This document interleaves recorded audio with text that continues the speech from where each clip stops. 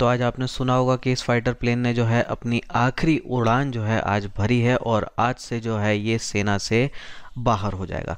तो इस मिग 27 ने जो है कारगिल युद्ध में बड़ा ही अहम रोल निभाया था प्रिसीशन बॉम्बिंग की थी और इसीलिए जो है इसका नाम बहादुर पड़ा था।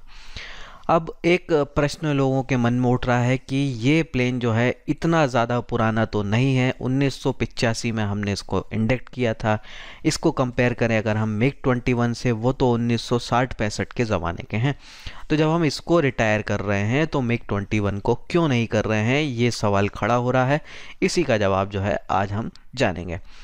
तो मिग 27 जो है, इसका मेंटेनेंस कॉस्ट जो है, बहुत ही ज़्यादा है। और ये एक ऐसा फाइटर प्लेन है जिसमें स्विंग विंग टेक्नोलॉजी है। अब ये स्विंग विंग टेक्नोलॉजी क्या होती है? ये वो चीज़ होती है कि हवा में ही जो है प्लेन अपने विंग्स का आकार जो है वो बदल लेता है। तो यहाँ जैसे आप पिक्चर में देख रहे हैं, दोनों एक ही प्लेन है, एक जगह जो है इसके पंख जो है फैले हुए हैं, एक जगह सिकड़े हुए हैं। तो यही चीज़ जो है मिग 27 में होती है। अब इसको क्यों बनाया जाता है, इसका क्या फ़ायदा? फ़ायदा यह है कि टेक ऑफ़ और लैंडिंग जो है, जल्दी हो जाती है।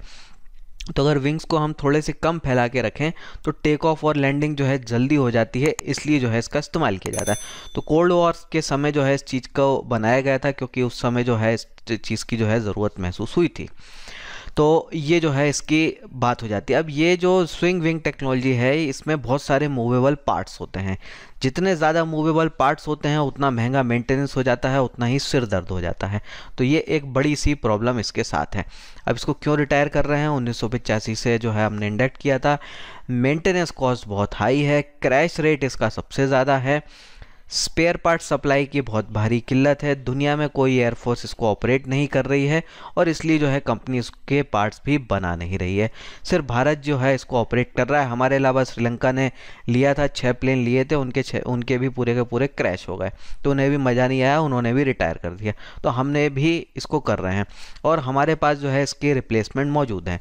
तो ये प्लेन की खास बात ये थी कि ये काफ़ी लो लेवल पर उड़ान भर सकता था और बॉम्बिंग कर सकता था एक्यूरेटली अब ये चीज़ उसके ज़माने में तो एक एडवांटेज थी, लेकिन आज के ज़माने में ऐसी टेक्नोलॉजी आ गई है कि आपको प्रिसीशन बॉम्बिंग करने के लिए नीचे उड़ान भरने की ज़रूरत नहीं है, आप ऊपर से भी कर सकते हैं। तो लेज़र गाइडेंस जीपीएस गाइडेंस और बहुत तरह के गाइडेंस सिस्टम आ गए हैं, जिसके कारण जो है बहुत ऊंचाई से भी जो है आप नीचे बिल्कुल एक्यूरेट बॉम्बिंग कर सकते हैं। तो अब जो है जो काम ये करता था वो काम हमारे पास दूसरे प्लेन भी हैं जो कर सकते हैं। तेजस भी ये काम कर सकता है। तो जैगवार है मिराज है और रफेल भी आ रहे हैं। तो ये तीन जो है हमारे पास ऐसे प्लेन हो जाते हैं जो कि इसका काम कर सकता है। तो जब हमारे पास अच्छा रिप्लेसमेंट है तो फिर क्यों हम जो है ऐसे प्लेन को उड़ाएँ जिसका मेंटेनेंस बहुत ज़्यादा है, जिसमें जोखिम बहुत ज़्यादा है क्रैश रेट बहुत ज़्यादा है? तो इसीलिए जो है हम उसको रिटायर कर रहे हैं और काफ़ी ज़्यादा संख्या में जो है ये हमारे पास थे भी नहीं। अब सवाल आता है कि मिग 21 को क्यों नहीं? तो मिग 21 जो है, हमने उन्नीस सौ सड़सठ से इंडक्ट करना शुरू किया था। 1990 में हमने इसको अपग्रेड कर लिया था बाइसन स्टैंडर्ड का। तो ये अपग्रेड जो है, ऐसा कोई अपग्रेड जो है, मिग 27 को नहीं मिला। और दूसरी बात, हमने इसको बहुत ज़्यादा नंबर्स में, संख्या में ख़रीदा है।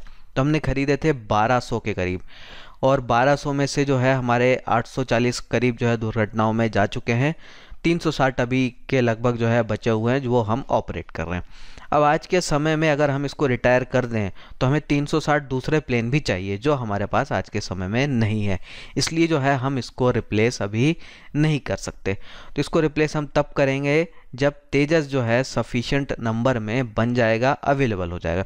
तो आज के समय में जो है हिंदुस्तान एरोनॉटिक्स जो है दस बारह तेजस ही जो है बना पा रहा है। जबकि जो है बनाना चाहिए उसको बीस तीस। तो जब ये रेट सफिशेंट हो जाएगा, हमारे पास 150 ऐसे हो जाएँगे तो हम जो है इसको हटा देंगे, इसकी जगह तेजस आ जाएगा।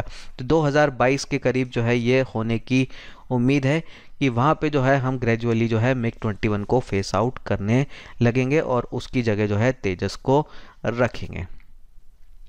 तो ये रही आज की बात, इस पर आप अपने कमेंट्स रखिए। फिर मिलते हैं। जय हिंद।